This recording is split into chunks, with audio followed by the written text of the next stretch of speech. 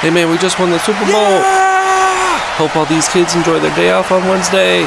Please come join us at the parade. That's right, Park Hill, you have the day off. Hope to see you downtown. Woo!